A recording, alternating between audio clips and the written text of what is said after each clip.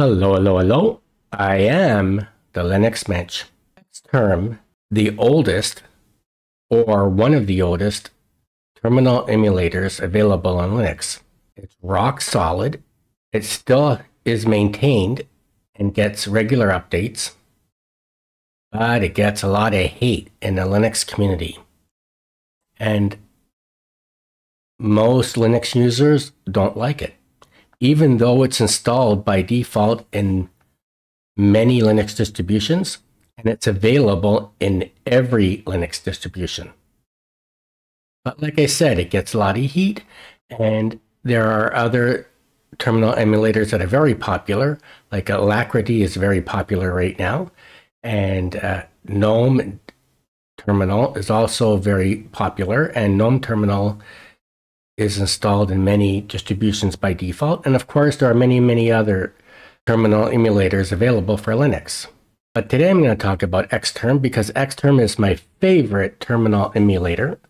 I love it, and it's the terminal emulator I use. So I'm going to show you why Xterm has a lot of hate. And I'm going to show you how to configure Xterm so it looks nice. Let's get to it. So today I'm running a virtual machine of Arch Linux with the awesome window manager. So I'm going to open up Xterm. I'm just going to use my mouse. I could use my keyboard, but let's use my mouse just so you could see how the awesome window manager works. And here's Xterm. Now this is the way Xterm is installed by default. It has a blinding white background. The font is extremely small and you can hardly read it. Now, the thing is, if you use your mouse, you can't do anything with your mouse. There's no menu.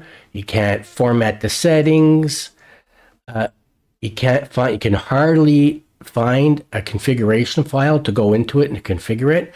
Like with Alacritty and many other uh, terminal emulators, they come with a configuration file that's easy to find and easy to configure if you're used to configuring things. So a lot of people hate Xterm and they don't use it. I love Xterm because I know how to configure it to make it look nice the way I like it to look. And I like it because it's very light. When you're running Xterm, it only uses about uh, one megabyte of RAM. Now, it's not that I'm short on RAM, but uh, why waste RAM? Alacritty, I think it uses around 18 gigs of RAM, maybe 22 gigs of RAM. There's another termin terminal emulator uh, called Terminator. Now, Terminator is very good in the way that it's user friendly and you can use your mouse. But Terminator, I believe it uses around 26 megabytes of RAM. And also, the GNOME terminal is very popular. It comes, of course, installed with Linux Mint. It comes installed with Ubuntu. It comes installed with the GNOME desktop. And it comes installed with many other distributions have GNOME installed by default. And of course, with the GNOME terminal, you can also use your mouse and there's menus and so forth. Anyways, we're not here to talk about them. We're here to talk about Xterm. So this is what I like to do with Xterm. And now this is the way my Xterm looks. So you see I have a black screen. I have a nice font and um, let's do a NeoFetch. So there's NeoFetch. Now, if it's not large enough, I can make it larger. Hold the shift button down and hit the plus sign. I want to make it smaller, I hold the shift button down and hit the minus sign. So now I'm going to show you how to copy and paste. So I have a web browser open up on workspace one. So I'm going to go there and I'm going to copy and paste this into the terminal. Now this is not going to be a real command that you would use in a terminal, but just, just for the purpose of showing you how to copy and paste with Xterm. So I'm going to highlight this. Then I'm going to go to workspace 5 where I have Xterm open up. I'm going to hold the shift button down and hit insert. And there you go. I just copy and paste into Xterm. Now let's say I want to copy and paste from Xterm into Xterm. So I'm going to type in history just as an example. Now, of course, if I wanted to run one of these commands, I could just do explanation mark and type in a number. So for instance, if I typed in 469 after the explanation mark, it's going to run the command. But that's not what I'm trying to do. So I want to show you how to copy and paste. So the way you copy and paste in the terminal would be the same way that we copied and paste from the web browser into the terminal. So let's say I wanted to copy and paste NeoFetch here. I'm just going to highlight this. Hold shift and hit insert.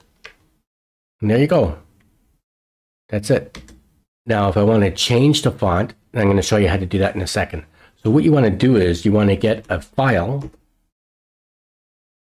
right here. You want to make a file called X resources.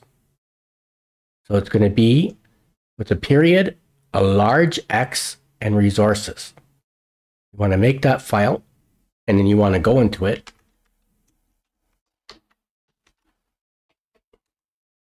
And you want to have these two lines in there.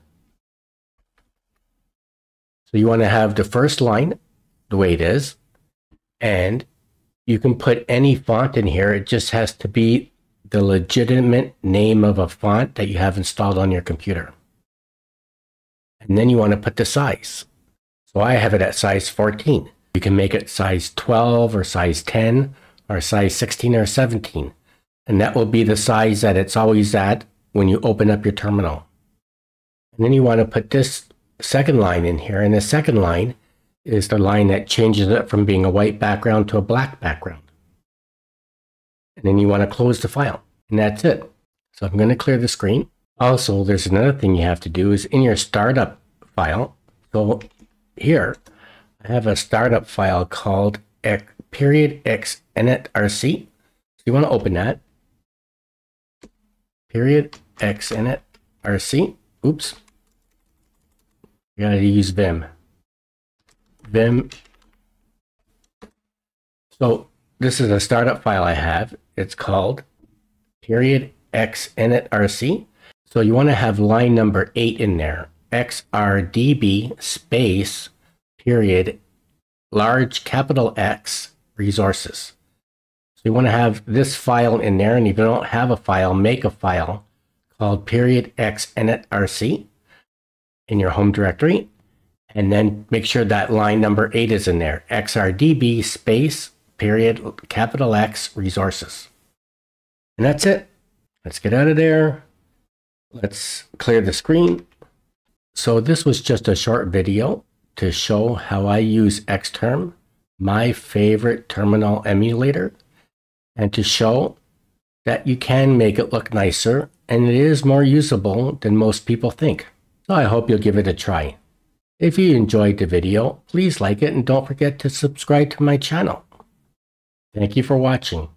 I am the Linux Mench.